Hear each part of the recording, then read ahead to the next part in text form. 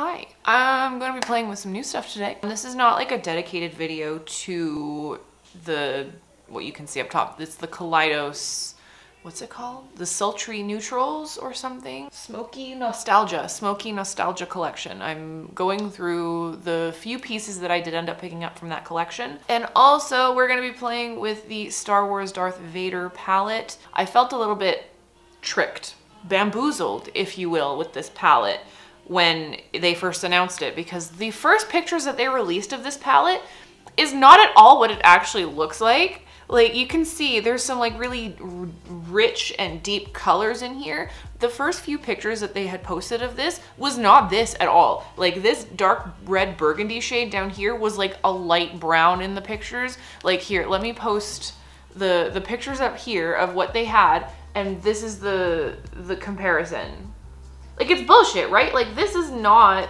the same picture at all. Jesus, get it together, ColourPop. But anyway, I'm excited to be playing with this. I really actually enjoyed this color story. The way that it ended up, ended up turning out, I think it's quite unique and does actually fit. I was playing around with some swatches and this, this Super Shock I think is probably the most beautiful Super Shock that exists. At least in my collection, it is the most beautiful and amazing Super Shock. It's like a pinky taupe color and it's stunning. It is absolutely beautiful. So I'm gonna be putting that all over my eyes today. Yeah, let's just get started, I guess. And then the actual products from the Smokey Nostalgia collection from Kaleidos that I picked up were two of the lip clays. I have, it's the two lighter shades. So I have Skinship and Cold Smoke. The way I can describe these colors, um, Skinship is a very like neutral, warm nude kind of color. It's, is it warm or is it neutral?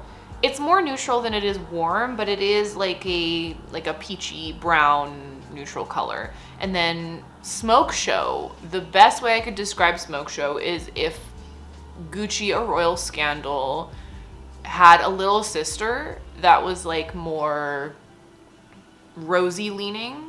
It's a little bit more like pinky rose than a royal scandal because royal scandal is like a true like gray taupe like a like a gray brown. This is like a gray rose. So if you like if you like those kind of taupey colors you'll really like smoke show. And then finally i have the blush one of the blushes the joyride blush. So i got the little brown one um, because I just really loved the look of the model and the way that she was wearing it in the pictures. And I knew that that was the one that was gonna be my kind of color. And it's the only one that was like super unique in my collection. The other ones, like there was a bright red one, but I don't think that I would wear that often enough to merit getting it. So I only got this one because I knew that I would wear it a lot because it's a very neutral blush and I love neutral blushes. I wear them most often. Some of my most used blushes are neutral ones. Yeah, this worked for me and I really wanted to try it. The packaging on this is just amazing. It's like plush.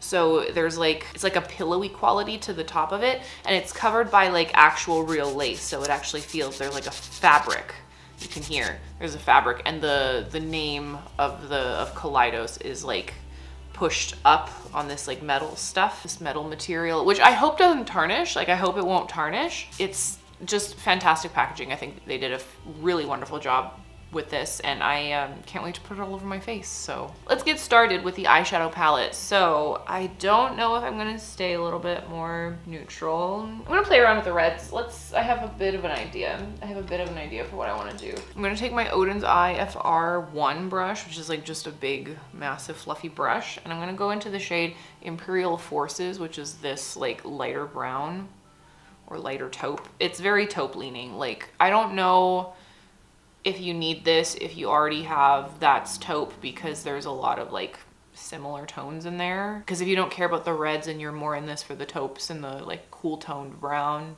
shades, then I don't think you need this.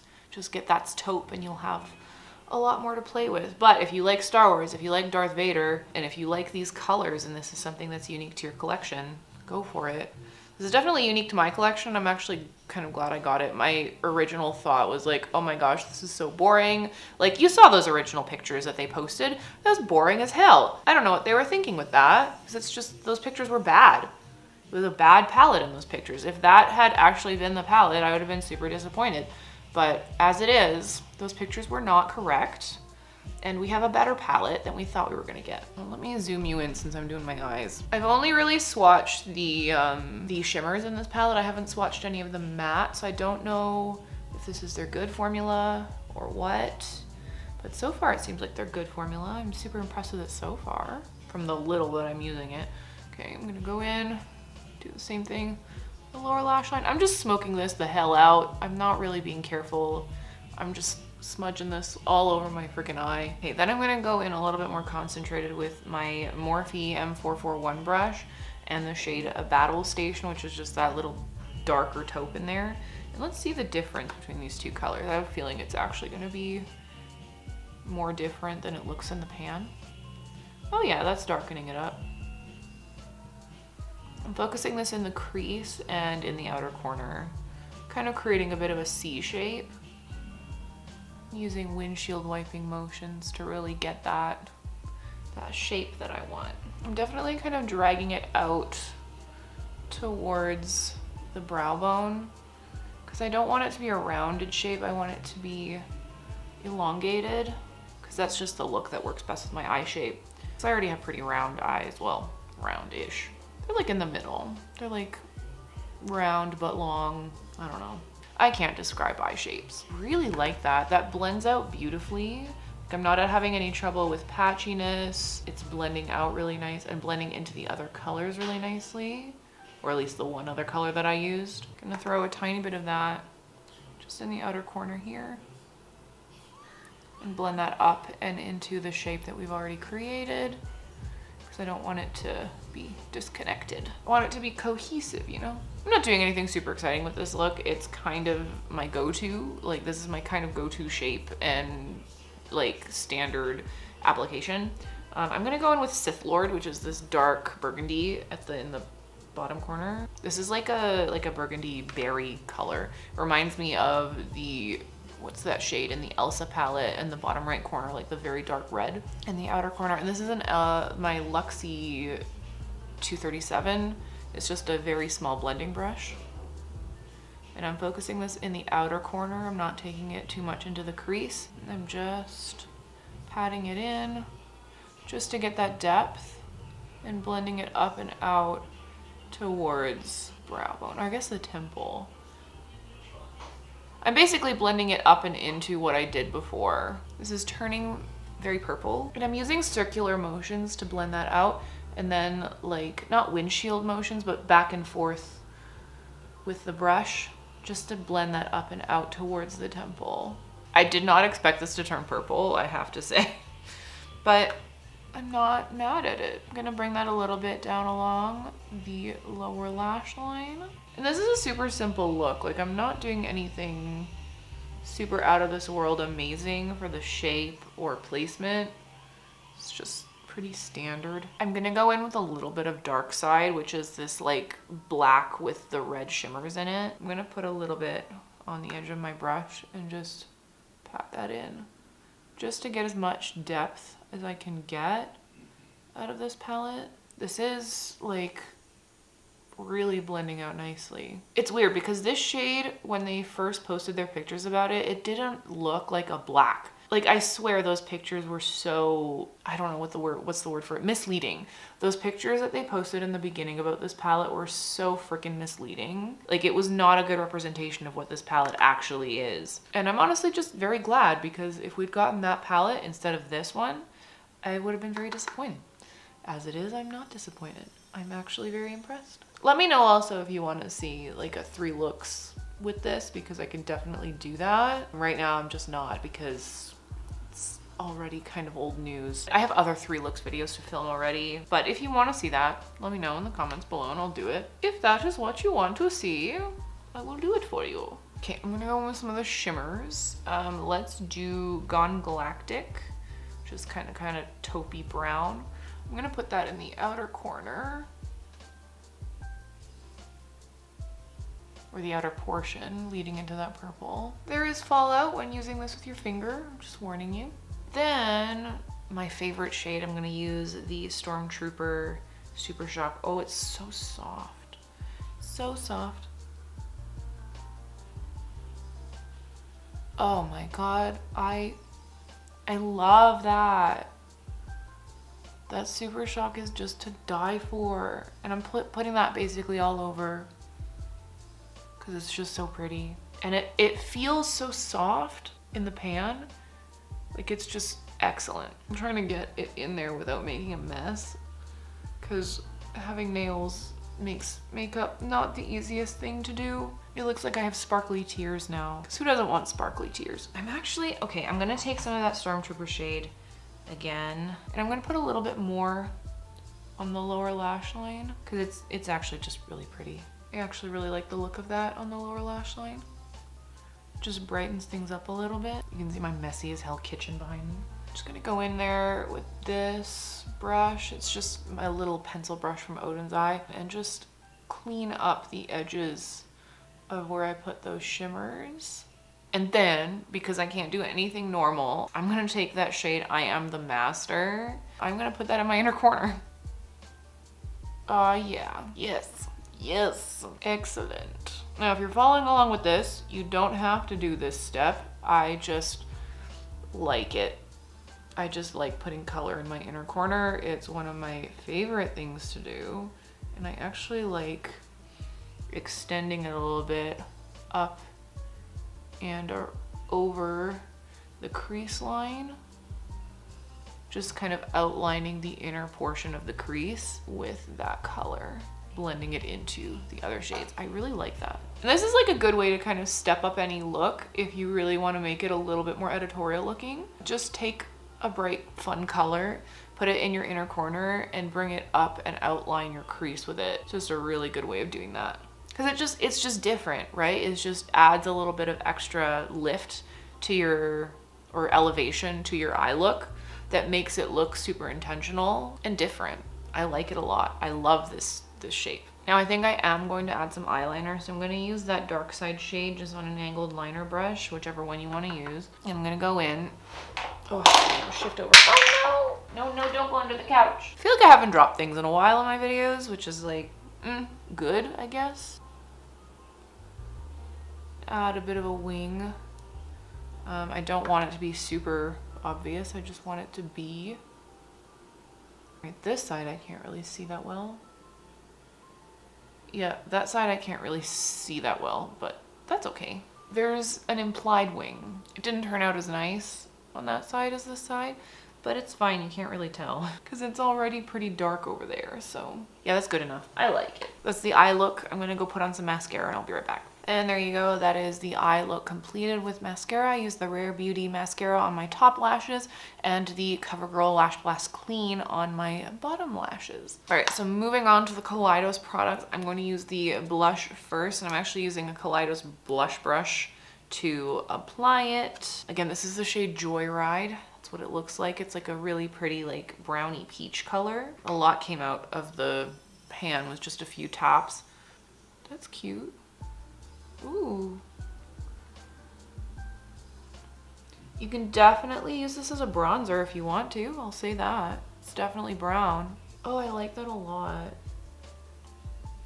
I love the color and it blends out really nice It's not like, not the most pigmented ever, but yeah, if you want to use this as like a blushy bronzer, it works really nice. And I'm bringing that up and onto my temple because I like that like 80s blush look. I'm trying not to get it in my hair because blushed hair is not a look I want to go for. That's a really pretty color.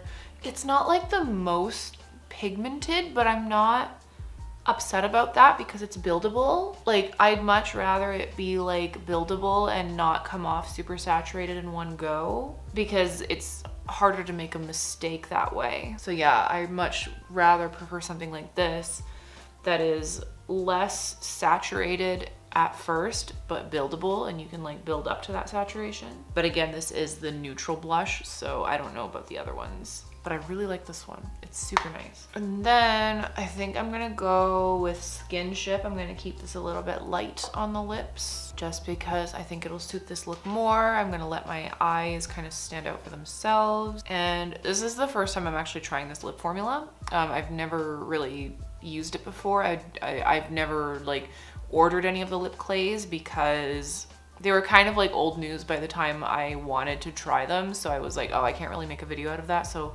what's the point? I have enough lip products. But when this collection came out and they launched new lip clays, I was like, this is my opportunity to try this formula. So here we go. It definitely reminds me of the Rare Beauty lip formula because it's very moussey.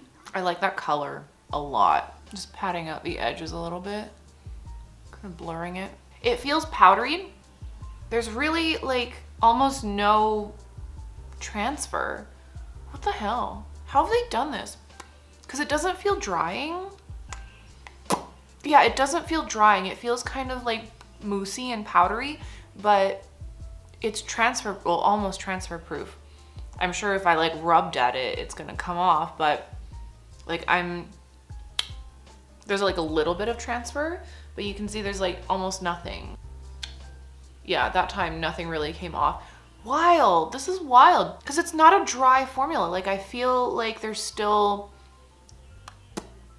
hydration on my lips. That's nice. I really like that formula. Cause it does dry down. Like I can feel that it's dried down but it's not dry, if that makes sense. It feels more powdery than it feels dry. It's such a strange formula. I love it. I love it though, and I kind of want more of them. That color is so pretty though. It's like peachy and mm, brown. I think it works really well with this look as well. And with the Joyride blush, it's like the perfect match. So if I were to get two products from this collection, it would be the Joyride blush and the Skinship um, lip clay. The cold smoke is nice, but it doesn't go as well with the blush. Like it's a really nice color on its own. Um, and I'm sure that it's gonna look fantastic on, on the lips. I just like looking at my lips in the viewfinder because that color is so nice. I love it. I love it. Yeah, this is a winning combo. This blush with these lips, winning, winning combo. Oh, do you want to see me apply Cold Smoke?